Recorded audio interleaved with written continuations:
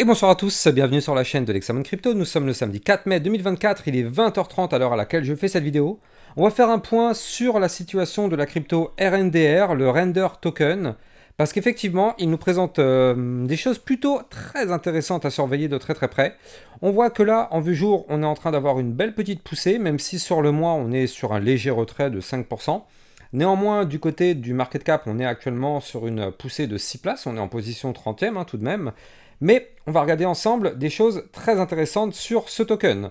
Avant toute chose, je rappelle que tout ce que je vais dire dans cette vidéo n'est en aucun cas un conseil financier, c'est à vous de faire vos propres recherches et n'oubliez pas que le trading de crypto-monnaie comporte des risques de pertes financières partielles ou majeures. Allez, on démarre, on démarre cette analyse technique justement avec une vue long terme, donc une vue hebdomadaire. Et là, on voit que nous avons eu tout de même un très joli retracement du côté du RNDR. On a eu un top local qui a été à 13,85. On le voit parfaitement ici, ce top ayant été fait en mars 2023, le 11 mars 2023. Et suite à ça, on a eu bien sûr un retracement. Vous le savez, on ne monte pas to the moon sans s'arrêter. Il y a toujours une belle phase de retracement. Et nous, c'est exactement ce qui s'est passé. On a eu notre retracement. On a été faire un retracement tout de même, il faut le noter, jusqu'au niveau clé des 0,618 Fibonacci à 7,588$. Donc ça, niveau clé Fibonacci 0,618, c'est en général une belle zone de recharge pour du long. Et là, on voit que ça a parfaitement tenu, surtout que juste en dessous, eh bien en réalité, on a le haut du ruban de moyenne mobile, et regardez ça. En fait, on a ce ruban de moyenne mobile qui est en train de soutenir parfaitement le bull market sur cette crypto-là. On le voit ici, à chaque fois on retouche le ruban, on se relance, on touche le ruban, on se relance, et donc là, on est venu chercher une nouvelle fois le haut du ruban de moyenne mobile et on s'est parfaitement relancé suite au rebond dessus. Donc là, actuellement, qu'est-ce qu'on est en train de voir? Eh bien, on est en train de voir que là, pour le moment, on est bloqué. On est bloqué par une double zone de résistance. Déjà, on a cette dernière bougie hebdomadaire, donc la bougie rouge que vous voyez ici. Cette bougie-là, il faudrait déjà dans un premier temps absolument clôturer au-dessus de cette bougie, c'est-à-dire au-dessus des 9,123. Et le problème, c'est que juste au-dessus, on a une autre résistance à 9,288. Donc là, double zone de résistance. Néanmoins, si on arrive à breaker ces niveaux clés, on pourrait, pourquoi pas, tenter de se relancer et de faire de nouveau un rallye haussier pour former la petite anse sur le côté du côté, enfin, sur la, la crypto RNDR. Regardez ça, on a eu le pump. Ici, on pourrait faire une anse comme ceci pour aller chercher le dernier plus haut et pourquoi pas tenter de l'exploser par le haut et aller de nouveau chercher des points plus hauts. Donc là, bien sûr, pour l'instant, on n'y est pas. Ça, c'est le scénario idéal, bien sûr, mais ça manque un peu de force pour le moment. Et bien sûr, tout dépend intégralement du Bitcoin. Vous l'avez vu ces derniers temps, quand le Bitcoin crachait, toutes les cryptos étaient à moins 10, moins 20, moins 30%. C'est d'ailleurs pour cette raison-là que notre euh, bah, crypto euh, RNDR a connu euh, une grosse phase de chute, hein, parce que forcément le Bitcoin a chuté depuis quand même quelques, quelques semaines. Donc bref, en tout cas, en vue long terme, on voit quand même qu'on est toujours sur une configuration vraiment très sympa. Maintenant, si on continue l'analyse technique, et qu'on passe cette fois-ci en vue journalière, et donc là, en fait, qu'est-ce qu'on voit? Eh bien, on voit que là, on est plutôt dans une configuration relativement explosive. Relativement explosive, pourquoi je vous dis ça? Parce qu'en fait, là, ici, on voit premièrement que dans cette vue jour, on a des bandes de Bollinger qui sont en train de compresser. Pardon, avant de passer à cette vue jour, j'ai oublié de vous donner un détail clé très important, voire même majeur, c'est qu'en fait, du côté du RSI, pardon, on est retombé ici à 60. Alors qu'il y a encore quelques semaines, on était à 91. 91 de RSI, c'est clairement du surachat. Donc là, on est retombé à 60. Ça reste encore du surachat, mais ça s'est quand même tout de même calmé. C'est quand même important d'avoir ça en tête du côté du RSI. Maintenant, donc comme je le disais, en vue jour, pour l'instant, nous sommes bloqués par une ligne de tendance baissière. Vous la voyez ici, hein, ce trait bleu qui est là. À chaque fois, on vient toucher la ligne, on se fait rejeter, et ainsi de suite. Et là, qu'est-ce qu'on voit actuellement? Eh bien on voit qu'on est actuellement pile poil, vraiment pile poil, sous le niveau clé à breaker. Donc là, il faudrait impérativement qu'aujourd'hui on arrive à breaker la résistance des 9,095. Si on arrive à breaker cette résistance, ce serait plutôt pas mal parce que ça voudrait dire que on voudrait breaker la ligne de tendance baissière par le haut et quand on fait ça en général, vous le savez, c'est pour aller chercher des points plus hauts.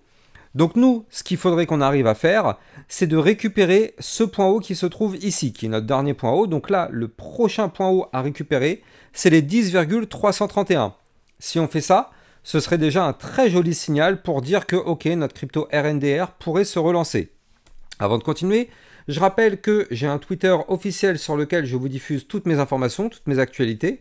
Tout est sur ce Twitter officiel, n'hésitez pas de venir me suivre dessus, vous avez le lien en description de cette vidéo. Et n'oubliez pas aussi au passage de mettre des likes et des commentaires. Alors, donc là, effectivement, ce serait nos prochaines targets du côté du RNDR. Le prochain point haut, 10,331, ce qui voudrait dire qu'on pourrait potentiellement avoir une phase haussière si on break la ligne de tendance baissière d'environ eh bien, 13%. 13% pour aller chercher déjà ce prochain niveau clé. Et si jamais on continue de pousser, eh bien, on pourrait aller chercher des points encore plus hauts, notamment le niveau 0,236 Fibonacci, à 11,450, ce qui nous ferait potentiellement un plus 25%. Mais c'est pas fini. C'est pas fini. J'ai encore quelque chose d'hyper intéressant à vous montrer du, côté de la crypto RNDR. Donc là, en fait, on est en train de voir l'apparition ici d'un premier bottom, et là, on est en train de voir l'apparition d'un deuxième bottom.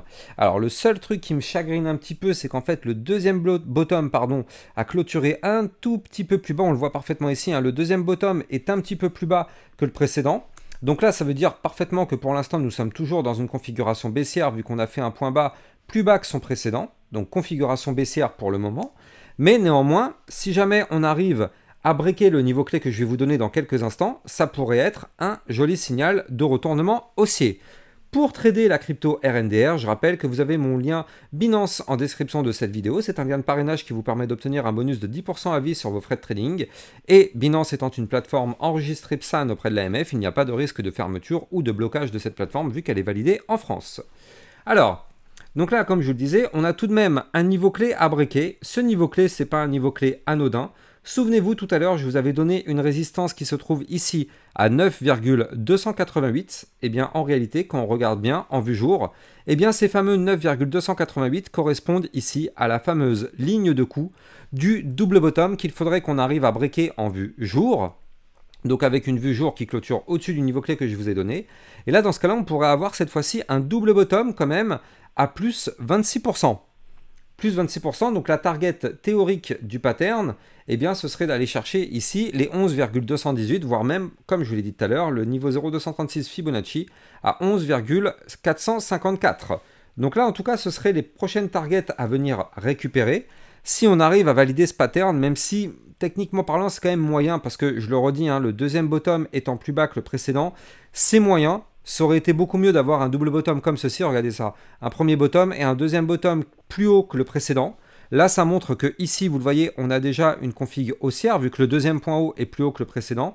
Là, on part, disons déjà, d'un prédicat un peu plus euh, euh, négatif, dans le sens où, en fait, déjà, on a ici une tendance qui est toujours baissière qu'on cherche à renverser. Alors que là, si on arrive à former quelque chose comme ceci, vous le voyez, on a déjà une tendance un tout petit peu plus bullish, donc ça permet de donner plus de force. Donc là, ça ne veut pas dire que ça ne va pas se concrétiser. Hein. Dans tous les cas, si on arrive à briquer la ligne de tendance baissière et qu'on arrive à briquer la ligne de coup du pattern, quoi qu'il arrive, on pourrait avoir bien évidemment un potentiel mouvement haussier. Alors, le scénario, ce serait le suivant. Regardez ça, je prends juste mon, mon outil. Voilà, parfait. Donc là, ici, n'oublions pas, on a la fameuse ligne de coup du pattern en double bottom. Si jamais, effectivement, on arrive à breaker la ligne, qu'est-ce qu'on pourrait avoir? On pourrait avoir un premier pump, puis derrière, je vous l'ai déjà appris un milliard de fois sur ma chaîne YouTube, mais il y aura quasiment systématiquement un pullback. C'est-à-dire qu'on revient retester le niveau clé qu'on a breaké. Si ce niveau clé arrive à tenir, dans ce cas-là, effectivement, on pourrait remonter chercher le dernier point haut. Et si on break le dernier point haut, là, ok, on pourrait vraiment décoller. Soit, malheureusement, donc ça c'est le scénario bullish, soit malheureusement, on peut très bien aussi casser la ligne de coup. Alors, pardon, on peut très bien aussi parmi le scénario se faire rejeter par la ligne de coup du pattern en double bottom, parce que je rappelle c'est une résistance, donc on peut très bien se faire rejeter et boum on crash. Ou bien, autre stratégie, on peut très bien aussi breaker, venir faire le pullback pour retester la cassure.